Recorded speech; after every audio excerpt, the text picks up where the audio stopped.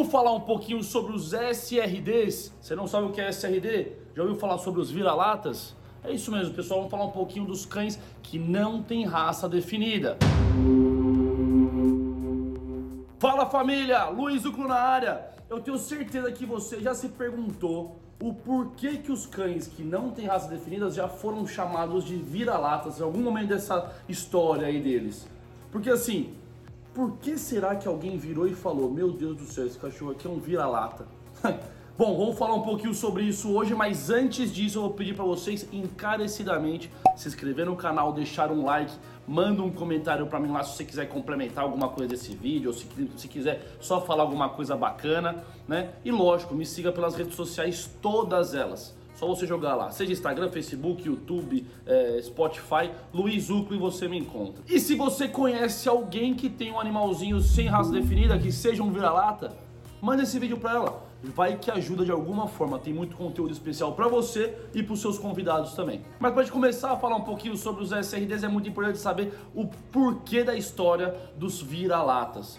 Bom, antigamente, há muitos e muitos anos atrás, o termo vira-lata surgiu por quê?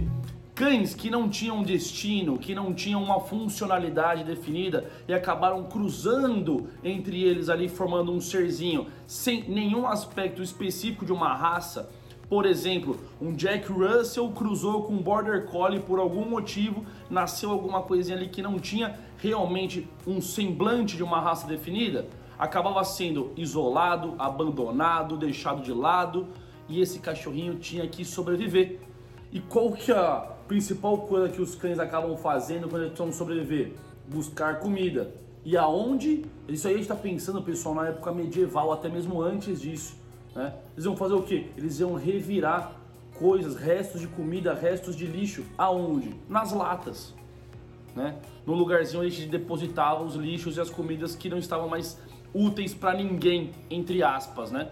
E aí surgiu o termo vira-lata. E agora que a gente já conhece um pouquinho sobre a história dos 100 raças definidas, né, hoje atualmente chamados de SRD e que antigamente eram chamados de vira-latas, é importante a gente lembrar um pouquinho sobre como funciona a parte comportamental desses animaizinhos. Seja ele um cachorro, seja ele um gato sem raça definida, não é mesmo? Então assim, o que a gente tem que pensar, pessoal, é que um cachorro que não tem uma raça definida, um gato que não tem raça definida, ele não vai ter um comportamento definido. O que a gente tem que pensar é que podem se ter passado várias e várias genéticas, bagagens genéticas, bagagens é, históricas na vida de cada animalzinho desse que transformam eles em seres totalmente únicos sem um traço mínimo ali para você saber, poxa, esse cachorro vai ser um pouco mais agitado, esse cachorro aqui vai ser um pouco mais tranquilo, esse gatinho vai ser muito sociável, esse gatinho vai ser agressivo. Não dá pra gente saber exatamente porque já pode ter passado muita genética ali naquele indivíduozinho. Então é muito importante a gente pensar que quando a gente vai adotar um animal, nós temos que estar prontos para educá-lo, com muita repetição, muita paciência, muita atitude, fazer com que ele se torne um animalzinho cada vez mais educado. Porque se a gente for ficar pensando, ah, não, mas ele vai ser tranquilo porque uh, ele tem cara de ser um cachorro tranquilo, esquece. Ah, ele vai ser de boa porque ele é um gatinho, um cara de de boa, esquece. Você pode ter uma surpresa muito grande.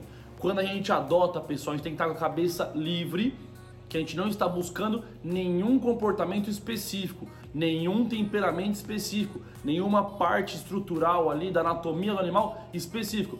Tudo pode ser uma grande incógnita. E isso é ótimo, porque o seu filhotão vai ser extremamente único. E já que a gente falou um pouquinho da anatomia desses animais, né, do semblante, é muito importante lembrar que assim, a gente também não vai ter conjuntura nenhuma de raça dentro de um SRD. A gente pode até ter traços que lembram, ah, esse vira-latinha aqui parece muito um Border Collie, ah, aquele ali parece muito um Schnauzer, ah, aquele ali lembra muito um Akita, mas não necessariamente é.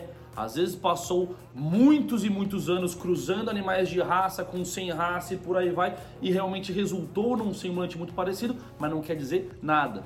Um caso muito engraçado é que às vezes a gente até encontra vira-latas idênticos uns aos outros, em cidades totalmente diferentes, em países totalmente diferentes. Mas por que, pessoal? Tudo isso se originou de um ponto em comum, mas não quer dizer que eles fazem parte de um grupo, de uma raça que realmente vai trazer aquela característica. E isso é muito engraçado, porque às vezes você vê até um vizinho, né, que tem um cachorro muito parecido com o seu, ou até mesmo um familiar que tem um, um cachorro idêntico ao seu, mas que a história dos dois é totalmente diferente.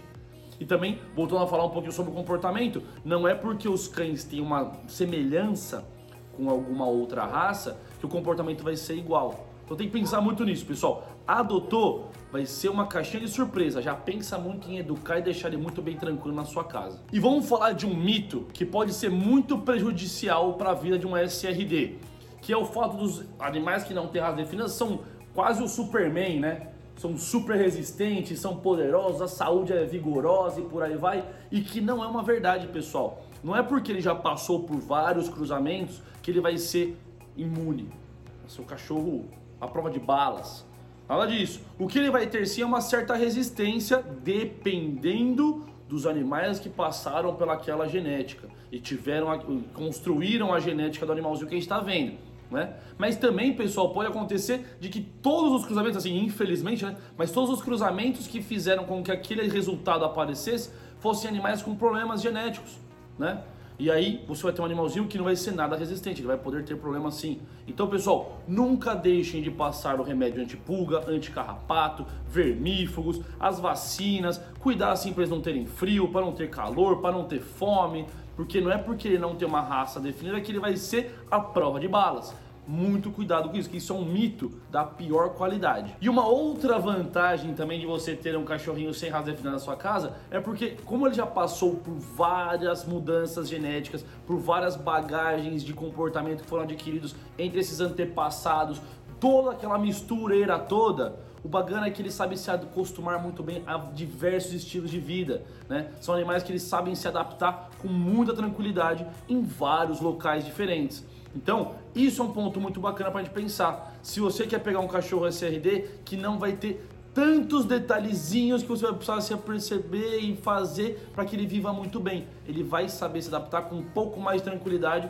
do que um cachorro de raça, por exemplo. E o que você precisa ter em mente desse vídeo para colocar em prática ainda hoje e conseguir muitos resultados positivos com o seu vira-lata ou com o seu futuro SRD, que você precisa treinar muito bem esse animalzinho para que ele viva na nossa sociedade com a melhor qualidade possível, que ele seja um animalzinho realmente sociável. E pensando nisso, pessoal, o adestramento é essencial. Ensinar o cachorro a ter respeito, atenção por você e você por ele. Use comandos básicos essenciais como senta, o fica, vem, o place saber também trabalhar a questão dos limites, todos os limites possíveis, alimentares, de porta, de brincadeiras, de locais na sua casa. O passeio também é essencial para que ele tenha um estilo de vida muito mais ativo, muito mais atividade física e mental para ele e todo o resto do conjunto de educação alimentar.